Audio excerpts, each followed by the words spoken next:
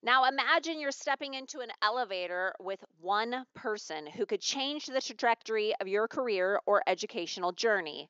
You have just 30 seconds. A brief ride from the ground floor to your destination to make an impression, share your vision, and deliver your pitch. But where do you begin? How do you ensure your words resonate and leave a lasting impact?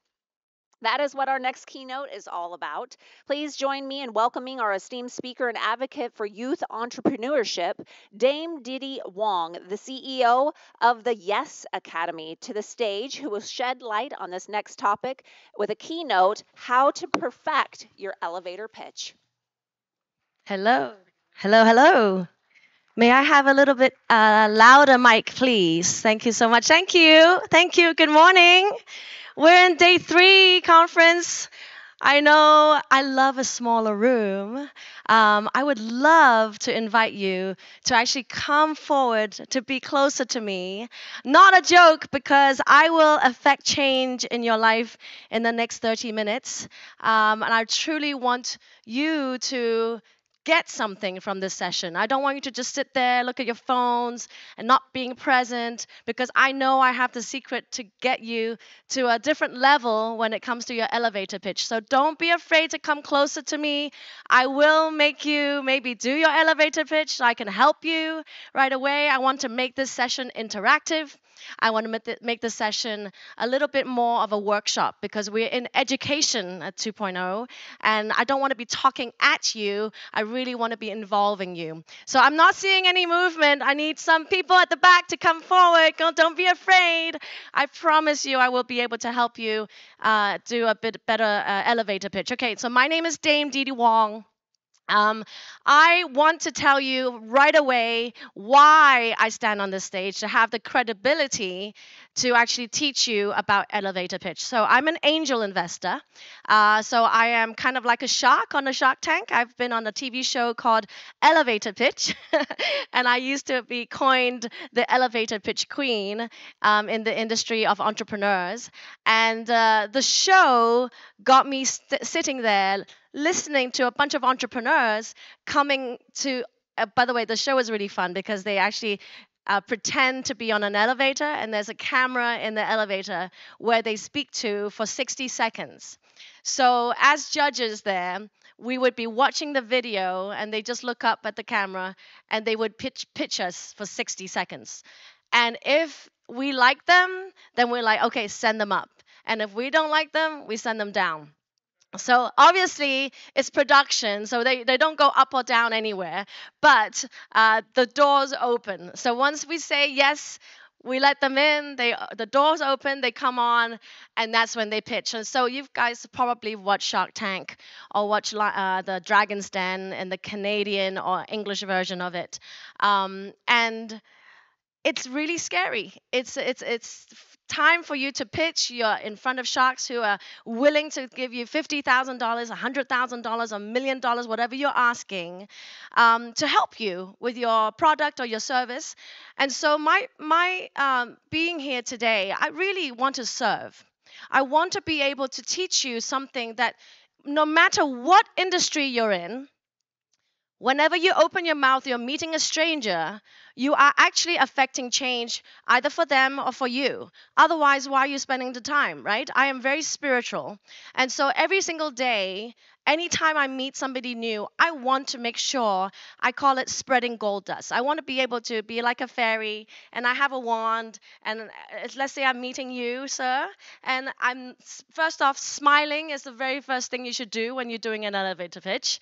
And then I smile and I imagine that I'm spreading gold dust all over you so that I can do something to you. I can serve you in some way, shape, or form that you will remember me and that I can do something for you. Because that is what we essentially in this world want to do as human beings. We want to help others. No matter what you're doing in life, you're you're a coach or you're a teacher, since we're in education, you're a medical provider, whatever you're doing, you're just wanting to help the other person, right? So if you're helping the other person, how do you help the other person?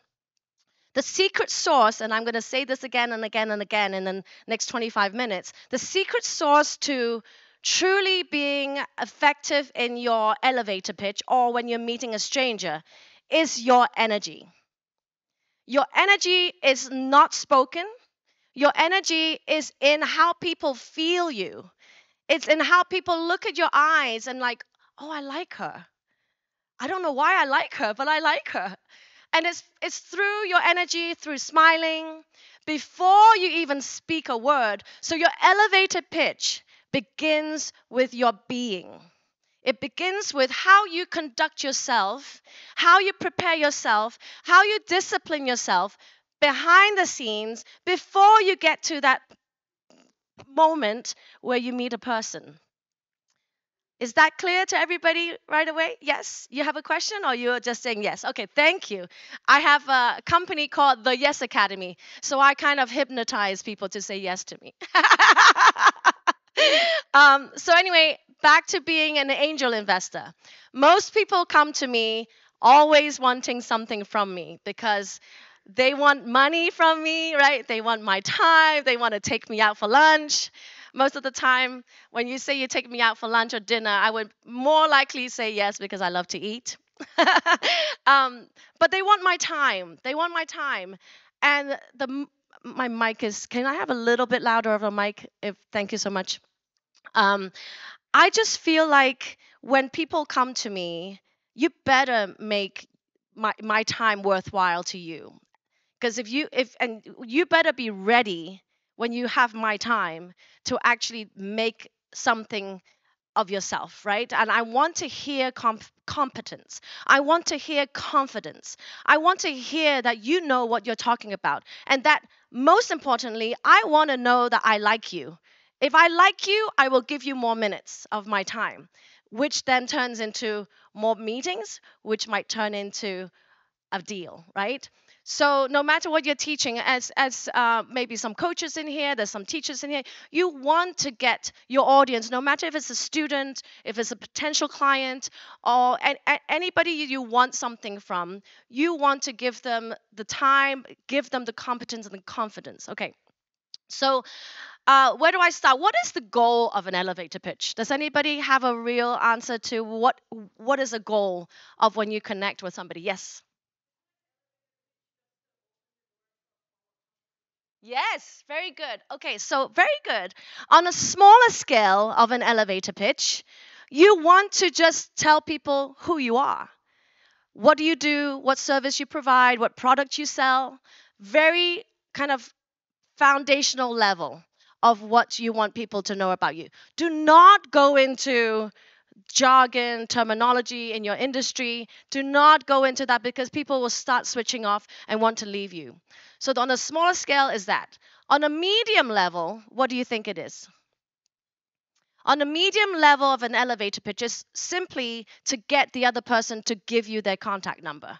Either the phone number, IG handle, some way, shape, or form that you can connect with them again right? Nowadays, there's so many different communication platforms. It could be anything. In fact, you just know my name, Didi Wong, and after this session, you're probably going to be able to look me up, D-I-D-I W-O-N-G, and uh, my my Instagram is Didi Wong Official. You probably just DM me. And just say, you know, like, so there's so many more ways and easier ways to get to people nowadays. So that's easier for us. Now, on a larger scale of an elevator pitch, is really to do a deal, is really to do a transaction. Or make a friend uh, make a stranger become a friend a friend for life. I like to see it that way first because as i said earlier when i look at you i want to like you. When i look at you i want to know that i kind of want to be around you first before i want to do anything with you. So the very beginning of the elevator is your first impression. Your first impression you cannot get again so if you come to me later on, you better be applying what I'm teaching you. so I would I would want to talk to you. And that is really the same with okay, so when you are I'm giving you extra advanced secrets of how to make your elevator pitch um, really effective. I like to go even into more. So you you you feel that person. Let's say I talk to you, I see you smile. I I like what I'm feeling, right? I get your phone number now, or I get whatever you give me, maybe your email. Um, so it's important for you to ask permission to connect with them again. So when you're right there looking at that person and they just gave you your email, like, thank you so much for giving me your email. Is this your preferred way of communicating? That is a really great question to ask people. Also, you ask them, next week, Monday, if you know your schedule well, next week, Monday, I'm going to follow up with you and I'm going to use the email. Would it be okay for me to email you? Because if you say that, and you remember me, right? My name is Dee Wong. I'm going to email you. I know you're going to meet a lot of people today, but I'm going to email you on Monday to ask you to follow up. If you do those type of quick sentences during your elevator pitch, during your time you have with your person, it makes them remember you. It makes them uh, be more inclined to reply to you no matter how you contact them. So that's a really another secret that I like to give people when I teach elevator pitch. By the way, I teach this uh, a four-week course on elevator pitch. If you really want to do it on your own and actually customize it. Now, you don't want to do an elevator pitch the same way with everybody because it, obviously, if you guys know if you are speakers or coaches, you want to treat everybody differently. So if I look at you again, sir, and I look at your demographic, white male, right? In probably in your 30s, also 40s. Okay, well, you should be happy I said 30s. um, I look at you and I, I will not be pitching you the same as I'm pitching you, sir. You know, it might be it might be different.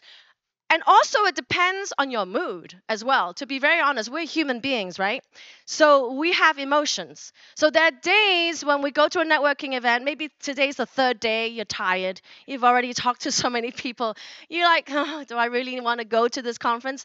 You made the right decision by the way to be in this room because you got me so thank you for being here um, but it's, it is really important like behind the scenes what i said you prep yourself for because you never know who you'll meet. You never know who you'll meet.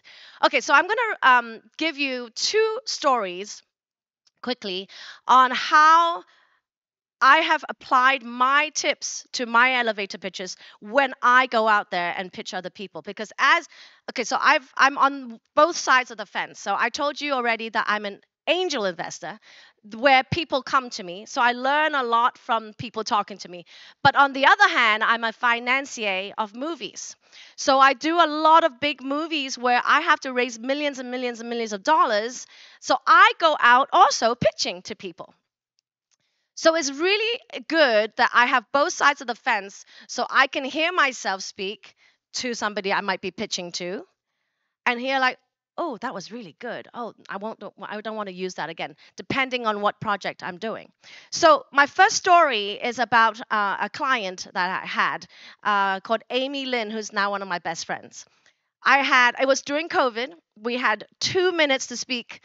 Uh, it was kind of like those speed networking kind of sessions where you're on Zoom, everybody gets to speak, it's two minutes each. So it got to me, I did my elevator pitch, and this girl, Amy, at that time I didn't know her, she was like, oh, oh my God, I she just, you know, on the chat saying, I really loved you. Can I please connect with you? So I gave her my email. She emailed me, followed up, gave her a, a consultation session. Within I would say 20 minutes of that consultation session, she already said yes to my $18,000 program. Now, that was two minutes of me speaking at the networking, and 15 minutes to 20 minutes of me on the Zoom call with her. And she was ready to drop $18,000. And I want to say that not to brag, not to say I can make all this money, but truly to say when you know how to speak and use your energy, use everything that you do every day, working out, eating right, surrounding yourself with people who lift you up, and being happy doing things that you love to do, not because you have to do it. Um, you know, all of that comes into play every time you open your mouth to speak to somebody. And I'm going deep into it because elevator pitch could be some teacher might just tell you, oh, it's the four P's or oh, it's the three N's or whatever it is. But this is so much deeper than just connecting with someone in 60 seconds. This goes way before you get to the stage or you get to a point where you talk to someone. So really think about that when you get out of this room. Really think about what are you doing every day to make your days worthwhile, make your days purposeful and make you happy. When you are in that state of flow, every time you connect with a stranger, you will affect change and you will make that money. So that so Amy became my client. We had 8 weeks of wonder she re signed with me, learned more from me, re-signed, she re signed with me four times. So imagine two minutes of that um, networking to 15 minutes of that Zoom, I was able to make about $100,000 from just that, right? So I'm just letting you understand how important it is to make that first impression. Now, second story is really about my friend Nick Hill, who is a man, uh, who is an owner of a super yacht company. I recently met him, uh, maybe four months ago, and I was at a yacht party. And I, I, I happened to meet him, and he's like, "Oh, I'm Nick Hill, Hill, Hill of the Hill Robinson Management Group." I'm like, "Oh my God, you're the guy! You're the guy I'm, I need to meet." And so we exchanged maybe 30 minutes of bantering back and forth, mostly, mostly me listening to him. By the way, the other secret to elevator pitch is listening as well. Okay, so when, when you talk too much, you people will be like, oh my God, on and on and on. You really want to get to know the other person before you speak. It's the best way. If you're meeting somebody new, I'm going to go to a new person. If I'm meeting you for the first time, I would prefer to have you speak before I speak. Because then I know your demographic, what you do, how you sound, your accent. Your accent might tell you where you're from. Then I might know your culture. I might know your religion. You can read so much about that person. Then when I open my mouth to speak, I will kind of maneuver around what I heard. So there's there's been a lot of Indians here because you know this is this conference is put on by Indian. I, by the way, I have a ton of Indian friends. So when I meet somebody Indian, I might say, "Oh my God, which part of India you?" You go into something of interest, of common, uh, something in common with the other person. You make obviously you make you, you you make them feel like you're a friend already. And if you really can't find anything to compliment the other person, pick on their hair, their jewelry, their clothes, their shoes, their belt. pick on something that you like about them because it's always nice to compliment people. It's about that spreading gold dust again. So this guy Nick Hill I met 13 minutes and we kept in touch. I'm like, oh, I would love to get your number to talk to you more about yachts because I love yachts and, and all that. So we have common interests. The common interest is yachts, right? So the next time I talk to him, I'm like, oh, you know, what what what do you need? And you know, you've you've got you're managing so many super yachts. You know, have uh, clients who are who own hundred million dollar yachts. And but what what is it that you know you struggle with? What do you what do you need? So in that moment, he was just like, most people suck up to him. Most people kowtow to him because he is the head of this big company. But when you when you come on the level of human humanity and you ask people truly, what can you do to serve them? What can you do to help them? No, so he was like, you know, I'm actually a very aggressive boss, and I'm trying to. I have an executive coach, and he sort of opened up to me about who he is. And I just dug deep into his humanity. Nothing to do with work, nothing to do with the deal, just his humanity. And I'm like, wow, it's so wonderful of you to actually recognize yourself. He's like, I'm really working on my patience as well. I have no patience. My employees, blah, blah, blah, blah, blah, blah. I'm like, wow. And I'm lending a listening ear like a therapist, right? You lend a listening ear like a friend, somebody you just want to, somebody who's just wanting to vent, really. And then we got into, well, what can I do to help you? What do you need? You, mo- you want more charters. He wants to do more charters. He wants more clients who would do more charters, one week charters. I'm like, oh my God, I, w- I have those people for you. My network is the ultra and high net worth uh, people who, who have the money to do that.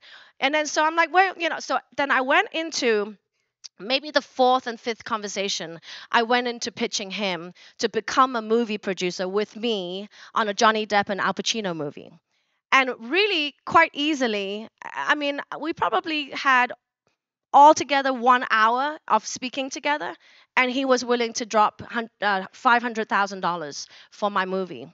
So I'm, I'm just giving you these stories because I know if you do your right elevator pitch you if you take your conversations and let's let's now turn the elevator pitch two words into just simple conversations. If you know how to conduct simple conversation with authentic, authenticity and just you people feeling your energy you doing eye contact you smiling and you truly wanting to serve not saying I'm I'm a title, title, title, title. Like if you come at the conversation with humanity, with really just knowing that person as a friend first, even in this networking setting, don't say, Hi, my name is Dee Wong. I'm an international award winning speaker. I'm a new movie producer. I'm an angel.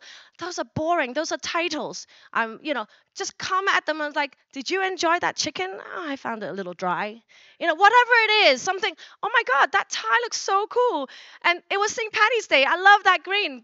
Good on you for keeping whatever it is that is not to do with work. That is not to do with your title. That's not to do with business. If you break that ice in that conversation, that will get you somewhere much better. And of course, you lead it into getting your the telephone number or the Instagram handle or whatever, Facebook page and whatever.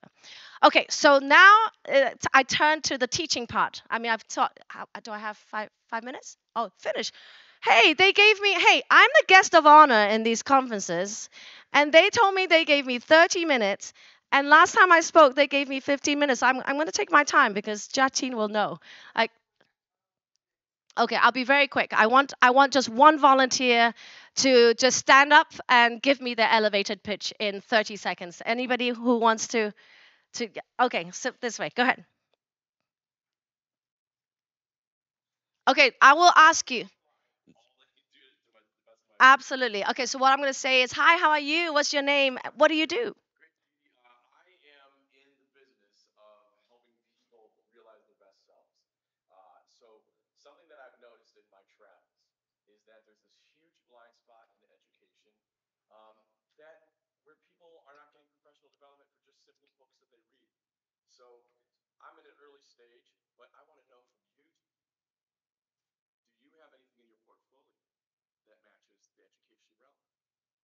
Very, very good. But remember, you went right into your what you need, right? Okay, you went right into what you need, but you're asking me what.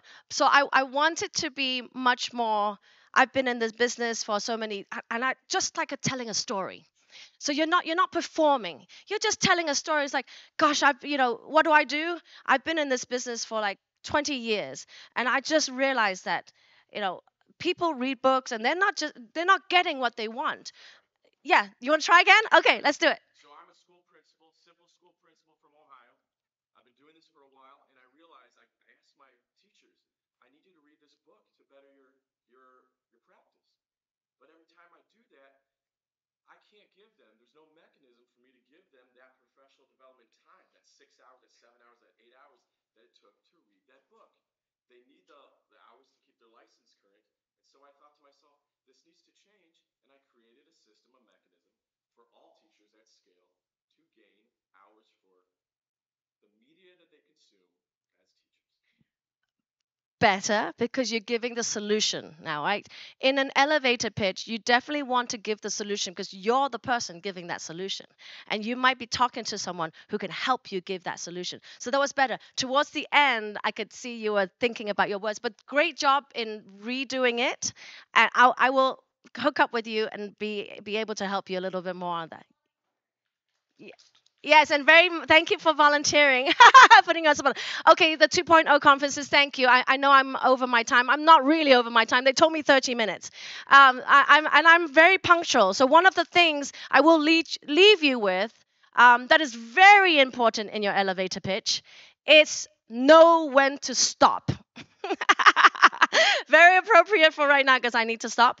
But no, to not go on and on and on and on because that is going to switch people off and they will never want to talk to you again. My God, she, he is so long winded. She is so long winded. Okay.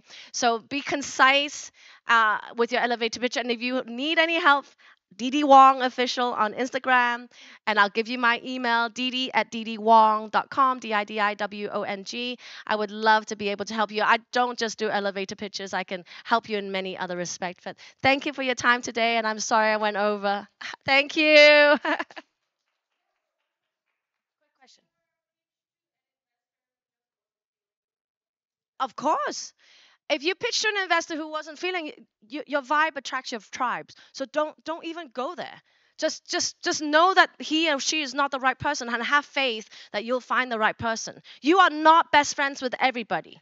You, your vibe attracts your tribe. The, the right people will come to you. So if you don't feel them just because they have money, don't do business with them. That's my beyond and all. Thank you. All right, thank you so much for that excellent keynote. I want to make sure you guys are all posting and all using the right hashtag. And as you as she mentioned, you can find her. It's also a great way to connect to everyone at the conference. It's hashtag education to conf.